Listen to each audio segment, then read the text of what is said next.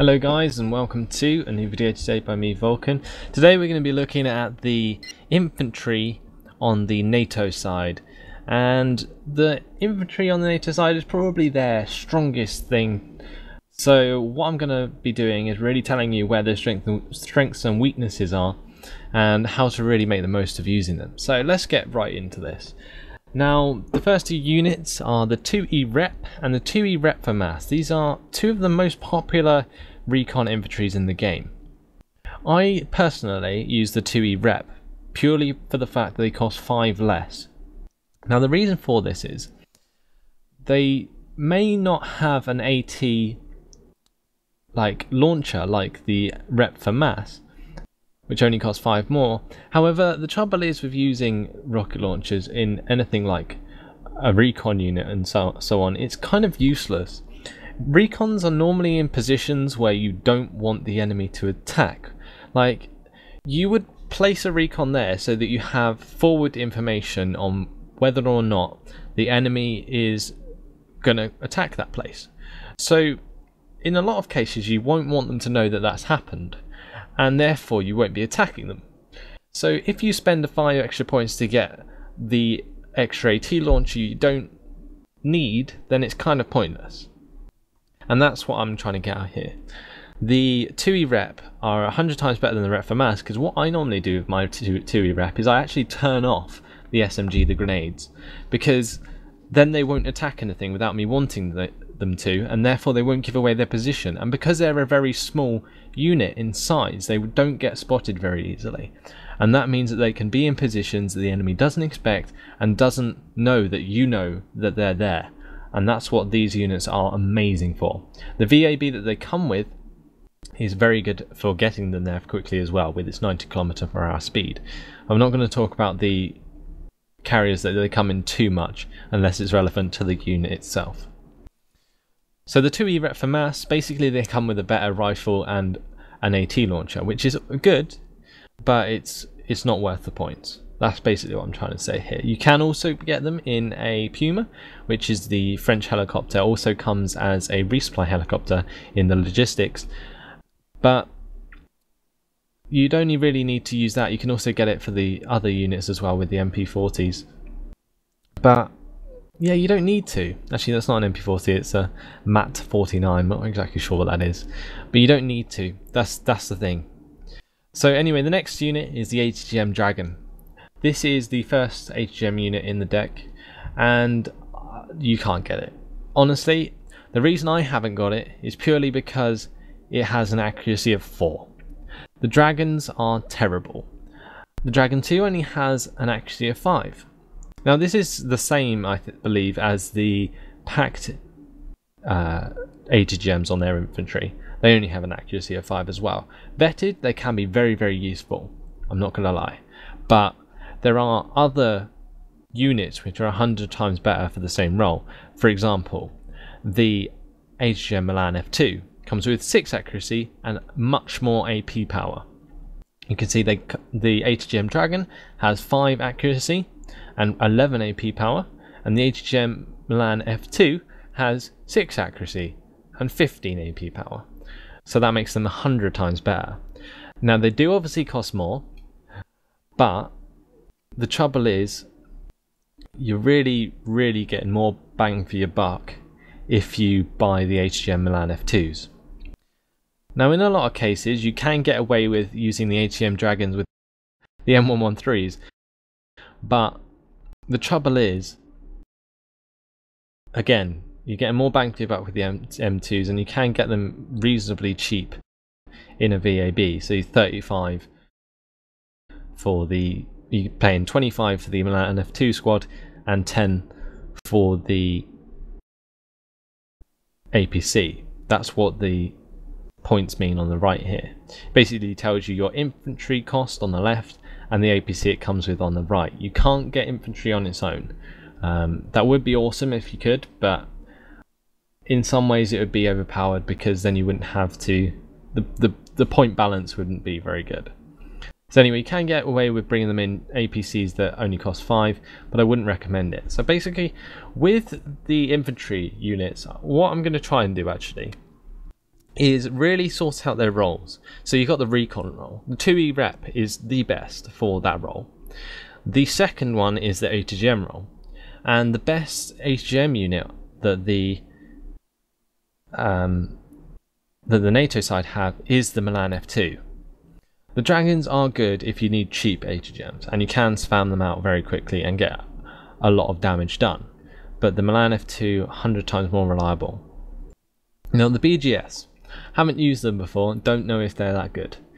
They're very similar to the 2E rep, uh, but they cost 5 less, but they come with a very slow APC, and I think that's why I haven't bought them before. It would be nice if you could get the BGS in the VABs, and then it probably would be worth getting, because they do have well, I, I, think they're exactly the same actually, so there's not much difference there because the cost would still be the same. But basically, because the APC that they come in is slower, it doesn't make them very good unless you're using them as defensive recon. Um, 2E rep are offensive recon, so that means that they're going to get in positions which are sort of past the enemy, whereas defensive recon are recon that you put on your lines so that you can see what's coming. That's what they would probably be good for. But you don't really want two of the same role on your deck, so I'd rather pick the 2E rep FAMAS because they're much more versatile.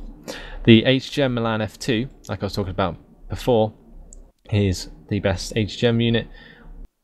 Comes with 6 accuracy. If you vet them, they are even better, and they are very, very good. With that APC as well, they're very maneuverable, and they can get around the battlefield very easily and outflank tanks very nicely.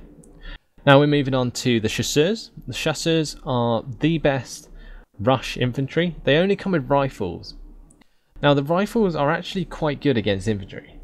You mustn't underestimate them, and because they are very cheap, they come with the 5 plus 10, um, 10 being the VAB cost. It makes them a cost of 15. If you have two squads of these versus one squad of, say, Chasseurs FAMAS, or maybe, for instance, Spadochroniarze on the enemy team, on Pact that is, then it's likely you might win because actually the VABs are very powerful with their with their M2 Browning machine guns, and with that fire support from those APCs, you can actually do a lot of damage with these weaker units, and that's what they're really good for. for piling these units against enemy infantry can do a lot of damage and that's actually what lost me the Wargame Cup. Somebody did that to me. The chasseurs in the AMX 10P I wouldn't really say is worth it. You're not really getting anything that can really support that vehicle. So it's kind of pointless. Same again with the with the Pumas. Now moving on to the Chasseur FAMAS, they have the assault rifles that really make these good. These are amazing with their high accuracy and very fast fire rate. And also, the good thing about these is they come with a decent AT weapon. So these are the sort of infantry you want to use against um, like light armor pushes which are supported by infantry. They can take care of the infantry at range and they can also take care of the the vehicles that come with them. The only trouble is they do suffer a lot against special forces with only a HE power of 1. Now the HE power on infantry is something you have to be very very aware of. Some have 1, some have 2 and some have 3. You can't get infantry with HE power of 4, that's just overpowered. But there are one there is one unit on the Pact side, Spetsnaz, that does come with a rocket launcher which has a heat rocket which does damage to infantry. I don't believe this one can. It's this one is a purely, even though it says a heat rocket, it's a purely an AT rocket.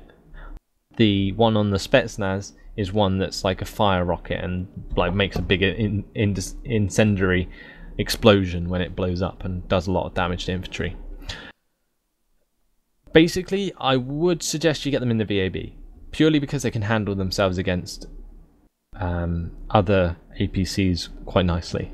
So you don't really need that extra fire support from the AMX-10P, for example. Now moving on, we've got the Delta Force. This is the first Special Forces that I'm going to be talking about. Now you can see here, Special Forces always have a HE power of 3. You can see their accuracy of 10, HE power of 3 is basically the same for most Special Forces. They also come with a anti-tank weapon with an accuracy of 10 and an AP power of 12. That's also very, very good. I, that's one of the best accuracies for an infantry unit on their AG weapon. Their grenade is also very good because they come with a concussion grenade. And basically what concussion grenade does, it instantly stuns the enemy as soon as they land. And they are very, very good for taking out multiple units which, which a grenade lands in the radius of. So basically I would suggest you take them in the Huey if you're not going to push them too far up the map. If you want to get them really, really far, then I would suggest you take them in a Black Hawk. And the reason for that is because the Black Hawk has a speed of 350 kilometers per hour, which may, means you can really, really get it further up the map and into a place which can catch out the enemy. Whereas if you don't need to, then a Huey will do just fine with its 225 kilometers per hour speed. So it depends how you're using them. They also have all of the spe special forces have this small recon bonus of good optics and that also makes them very good against infantry and forest because it allows them to spot the infantry before the enemy infantry spots them giving them the, the first fight really. The next thing is Fernspäher. These are the German special forces. They are anti-infantry infantry. I've mentioned these before in maybe some of my other videos but basically this is the equivalent of the Spetsnaz for the NATO side. And they come with extra grenades basically. And they're very, very powerful against enemy infantry units. And they're also good recon units. They come with very good optics. So basically, if you're wanting to get into a place where you're not necessarily sure if there's going to be infantry, but you want to recon it, then these are good for that purpose. I used to have them on my deck a lot until I started preferring to use Delta Force. So it's really up to you what you need what you need on your deck. Delta Force are the sort of infantry that are good against infantry, but they're there to sort of catch out enemy armor. The Fernspäher, however, are there purely to check out bushes where there might be other infantry and then you can take them out with them. You can either get them in the Fuchs, which is the fastest APC in the game, or in the Dornier German helicopter, which is basically the same as a, a Huey, but it's like a different, it's the German model of like a Huey basically. Um, they're completely different aircraft, don't get me wrong, but they basically go the same speed on this game, so they're basically the same thing. And um, they fill the same role. So this is sort of like, if you want them to be maneuverable, you'll get a Dornier with them but you don't need them to really be rushed up to anywhere. The Fuchs are good enough to get them anywhere you need them to be, and because it's just a Fuchs, they're quite small and they can get around the map nicely with their three wheels. So yeah, moving on to Fusiliers, one of my favourite units, but I don't use them enough, is basically these are very cheap units which kind of match the Chasseur FAMAS. However, they do come in a worse vehicle for less price. So basically, if you want to sacrifice a VAB for a Saracen, then pick the Fusiliers. Because Fusiliers basically fill the same role. You can see they have the same accuracy and the same HE power. They have, a, they have actually a much worse AT weapon, but they're very good for the for countering enemy pushes. They really, really slow them down. If you want to get them with Spartan, that's a very fast APC that can really help out. Not as good as the VAB in terms of firepower, but can get people around very quickly. And you can also get the Fusiliers in a Lynx AH1 or a Lynx AH7, which comes with rocket pods, which uh, can be great fire support depending on the situation. If you get them in the Saracens, they can be worth it. If you're in a forest heavy area and you don't necessarily need the speed, then using Saracens with Fusiliers can be very, very good. However, using Chasseur mass with VABs is just as good, I would say. So you're paying five more to get like a VAB equivalent, which is a Spartan, it, but you're getting a worse AT weapon. So overall, the Chasseur mass are better in that case, but I do like the Fusiliers purely because they're British. And the Chasseur mass and the Fusiliers both, both fill the sort of medium infantry role. Light infantry is the stuff like recon, I would say. Then you've got like the ones with specific roles like ATGMs and the AA. And then you've got special forces, and then you've got like medium infantry, which are, I'll show you soon. Moving on to the green jackets, these are similar again to the. These are another set of recon infantry basically, but they have a AT weapon and they have very good optics. They're okay. Some people like to use them because they can sort of handle themselves in a fight, and if they do get caught out by enemy armor, they can take them out. But like I said before, they basically, with a Spartan, the green jackets basically fill exactly the same role as a T2E Rep FAMAS. So, and they're worse, so it doesn't make them worth taking. That is the only trouble with them. You can see they basically have exactly the same armaments, just worse AT. So, like I was saying before, my argument was that if you're using them for recon, you shouldn't need their armaments anyway. They should be hidden and they should provide you with information. Moving on, we've got Heimat Schutzen. I haven't unlocked these guys purely because they're extremely cheap infantry, basically throwaway infantry. You can bring them in for 10 points if you bring them in with an M113 GA1. But like again, there's a slow APC that there's slow reactionary forces which you can just waste against the enemy if you really feel like it. But honestly, I don't see a use for them. The Jaegers and Fuchs. Now, honestly, you you've got to take these. They're very very cheap, and you can get loads of them.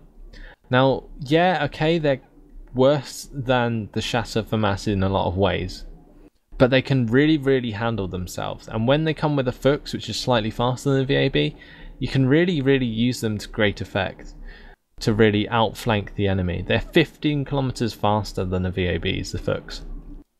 And having those ten, those troops, the Jaegers, that only cost 10 points in them, you can get a lot of damage done. They have basically, uh, it's called a Blindercide, I, I have no idea why it's called that, but that's basically their AT weapon. It can do a lot of damage at close range, um, and with the Fuchs, you can get them very close.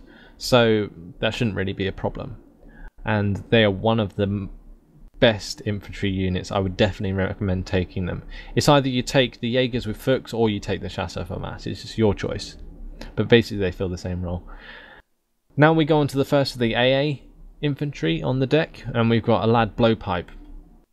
Now these in little groups of four can do a lot of damage, but honestly they're only really good for taking down aircraft that don't have much HP. They aren't very good if you're going to try and take down stuff like Apaches or um, Havocs. They're just not going to cut it really. The blowpipe has only has an accuracy of 2 and a HP power of 3. The range is awful as well, so you've got to get right underneath them. They can come in Spartans, but what I would say the Saracens, or the blowpipes and Saracens are good for, they're good base defense, purely as a sort of making the enemy aware that you have something there. So you'll be sitting at your base with a lad blowpipe, and your lad blowpipe will fire at an enemy helicopter. The enemy helicopter can't necessarily see your blowpipe because it's a small unit and will therefore run away because it doesn't know what it's up against. That's basically it. They're they're just a deterrent, a main base deterrent. That's what they're good for. And if you spam a lot of them near a near a um, spawn point, you can do a serious amount of damage to any helicopter flying over. That's also what they're good for. Now the lad Red Eye. This is an American AA unit, uses uh, infrared sensors, has an accuracy of 4 and HP power of 3. Again, HP power of 3, not good enough. Won't do enough damage to helicopters. That HP power of 3 just basically means it's going to take off 3 health points off a helicopter. Helicopters don't have any armor, so you don't have that to consider.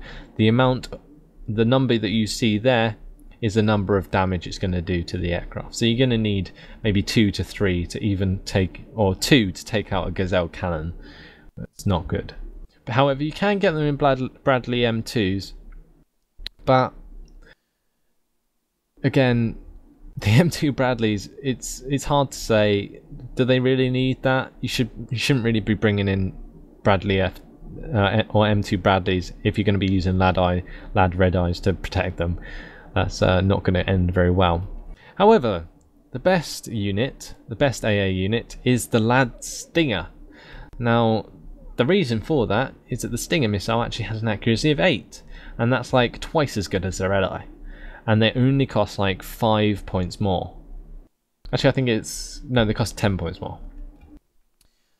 If you bring them in in the M113s, you can get them into a reasonably good position, although the speed is extremely slow, so you're going to have to use fast move to get them where you want them. They are good for defense. That's what I would say infantry AA is good for. It's really good for defense. You don't want to use them with tank pushes or anything. You just want them there to really stop enemy helicopters getting behind your lines.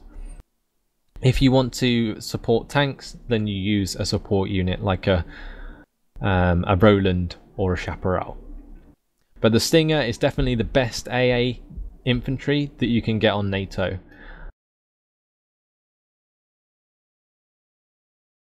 Moving on to the Legion FAMAS as well. We've got basically two types of a very good unit. The Legion are very good for supporting chasseurs. If you're going to bring chasseurs, not chasseur FAMAS, but chasseurs, you should also have Legion on your deck as well. And the reason being is they support each other very well. They both come with VABs, which are good support vehicles, but basically the Legion come with extra HE power. So the Legion can take care of the infantry while the chasseurs mainly focus on the armor if they have any. And that's what they're really good for. That's why they complement each other so well. The Legion also have their own AT missile, but uh, as you can see, I think it has two less accuracy. Actually, no, it's the same. It's the same AT. So they just support each other because both units have AT, they work well together. While one has its rifles, can shoot from a distance, and the SMGs of the Legion can do a lot of damage with the HE. So, like I say, they complement each other, and they only cost 20 points each. So if you're going to bring Chasseurs, bring Legion as well. Legion FAMAS, basically have the FAMAS, which is upgraded, and can do 2 HE power. And that's the Legion FAMAS costs 10 more though. The Legion costs five more than the Chasseurs, and it's exactly the same as the Chasseur FAMAS. But the Legion FAMAS costs 10 more than Chasseur FAMAS, and the reason for that is because their assault rifles are two or two more accurate and one more HE power. The AT missile is also much upgraded from the original unit. Also, coming with the VAB does help a lot. Now, Panzer Grenadiers, I believe these are the first infantry units you unlock um, as part of like the campaign. They're good. I would say they, they're good, but they're not great. They have an ATGM, and they can be used very, very well with Marders. If you're going to use Panzer Grenadiers, I would definitely recommend bringing them in with Marders. Marders are pretty awesome. I'll, I'll explain why when I come to the vehicles, but just bring them in with Marders. Marders are very good value for money, and they really do complement the Panzer Grenadiers well. Because the Panzer Grenadiers, if you have, say, a squad of four Panzer Grenadiers with Marders, you can use the ATGMs to really do a lot of damage. Because I would say one out of four will always hit, roughly. The Marders, however, mean that they are well defended if anyone tries to attack you with infantry, for example. So somebody sees that you're using Panzer Grenadiers and they try and push some infantry towards you in APCs to try and counter you. Your Marders will tear those APCs to pieces, and also the infantry once they're on the ground. And that's why they're very good. Also, the Panzer Grenadiers have the HE power of 2, the medium infantry sort of tier, same as the Legion FAMAS before. And that's, um, well, basically why they're so good.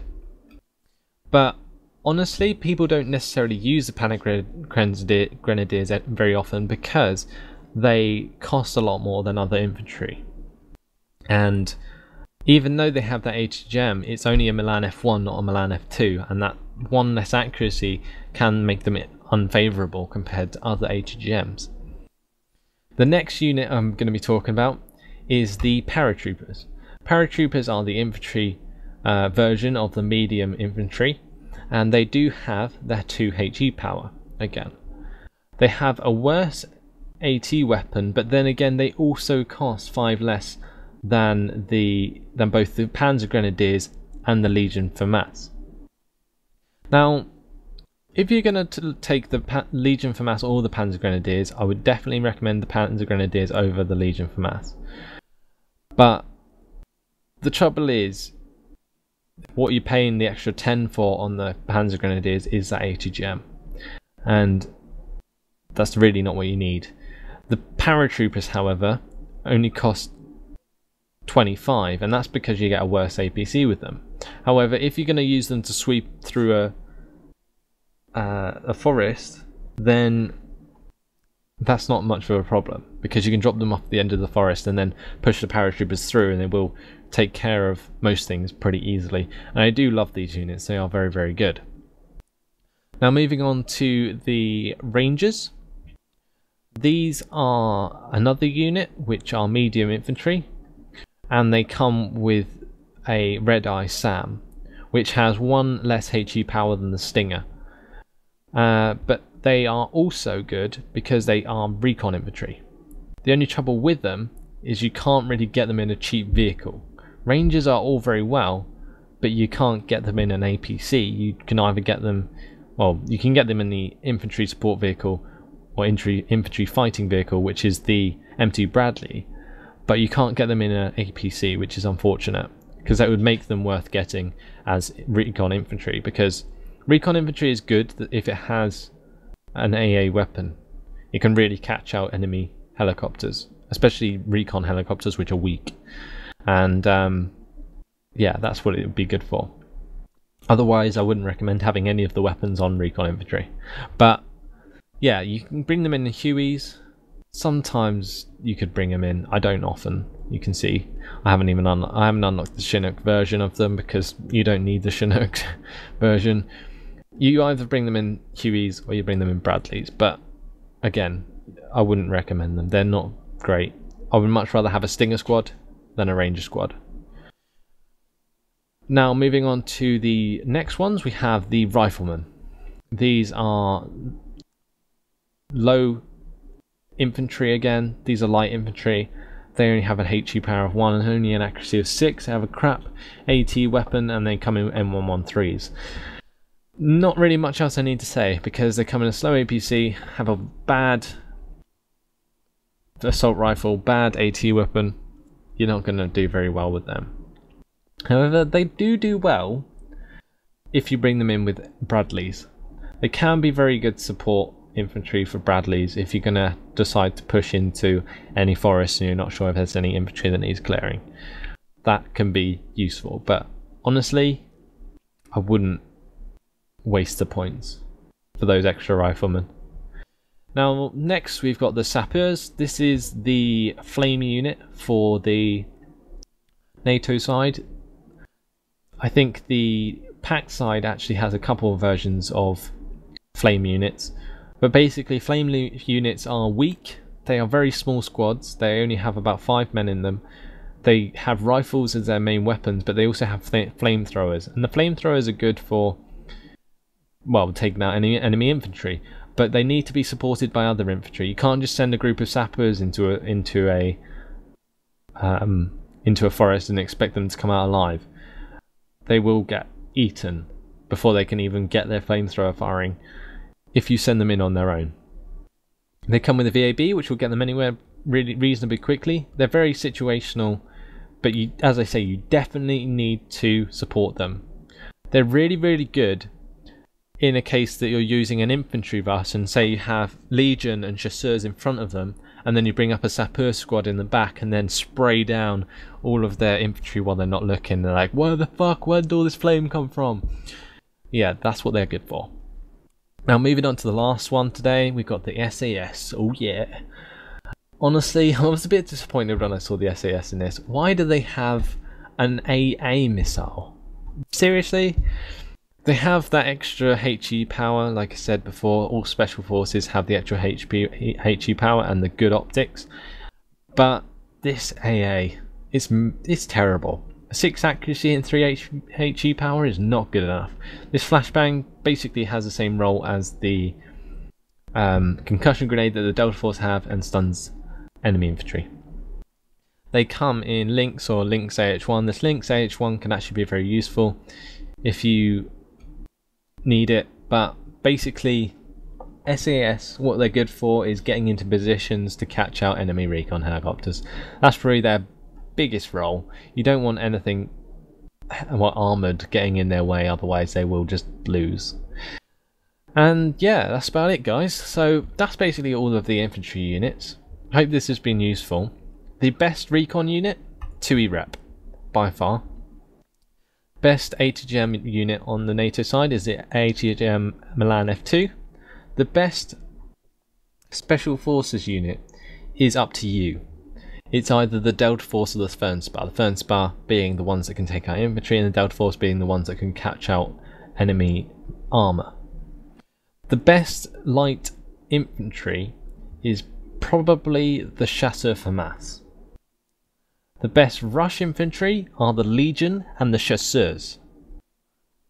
And the best heavy or best medium infantry is either the Panzer Grenadiers or the Paratroopers, depending on what you need them for. Do you need extra ATGMs or do you need extra, well, AT or you maybe you just don't need that extra thing and you just want to spend less money. And then finally, the the best, well, the best special forces. I think I already mentioned. Yeah, the best, the best AA is the Stinger, and I think that's about it. And the Sapper is kind of in a world of its own. So yeah, it's up to you if you want to bring them in. But I hope this has been useful, guys. That's a overview of the NATO infantry. Sorry, it really took a while, but I really wanted to sort of break them up for you. Watch out for the HE power of 1, 2 and 3 if you're looking through the armory. Tell you whether they're light, medium or heavy or basically special forces. Um, but yeah, thanks for watching guys. If you have any questions, please leave them in the comments and I'll see you in the next one, guys. Goodbye.